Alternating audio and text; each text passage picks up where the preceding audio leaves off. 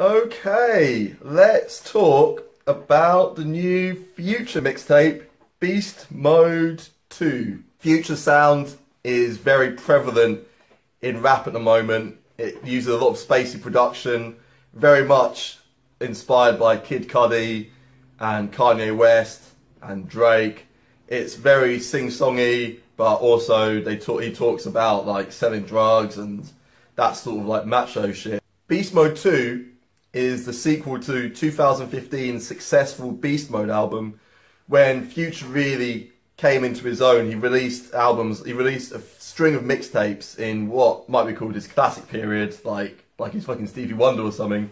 So building up to the release of a new studio album, Dirty Sprite 2, the mixtapes were just the mixtape scene was just dominated by Future about 2014-15, Monster, 56 Nights, Beast Mode, that all were just great out, great projects. Similar to Beast Mode 1, we have in, we have the project is entirely produced by Zaytoven, a frequent collaborator of Futures. He sort of um, died down a little bit recently. He's been overtaken by people like Metro Boomin and Southside, but Zaytoven is still a big deal. He's still massively part of this Atlanta scene. So at this point, it sounds like Future's bored Beast Mode 2 is just, I, I don't really see the point of it. It's He's talking about the same stuff he's always fucking talking about Future. Last year he released a double album, Future and Hendrix, a week apart. One was like rap, one was like R&B. And they were both just shit because at this point, we know what Future's going to talk about. He's going to talk about women, selling drugs, and how fucking macho he is. Future can make introspective songs. Codeine Crazy is one of his best moments. He took on that song. He talks about his codeine addiction and how it's going to kill him and how he can't stop. That's the sort of introspective future that we can hear. That's the compelling future. We've heard enough of the bloody drugs and alcohol and debauchery future.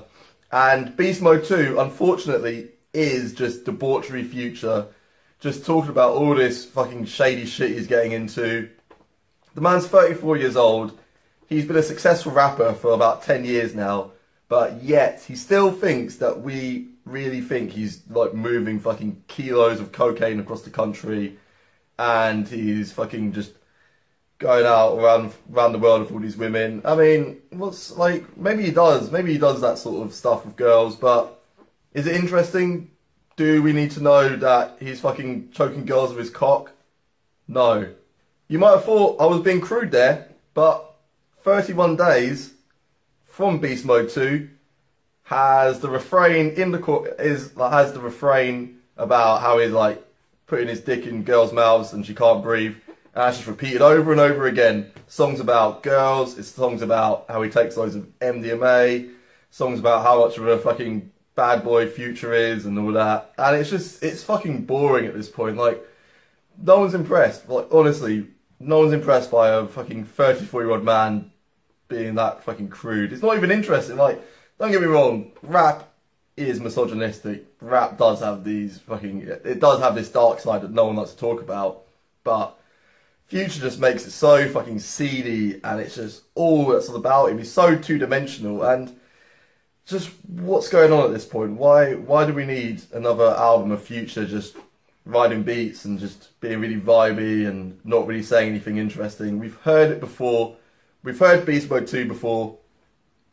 Thankfully, Beast Mode 2 is about half an hour long you can just put this on, you can put it on in the background and it won't really offend you too much. You just hear Future be like, oh, fuck the bitch with my cock.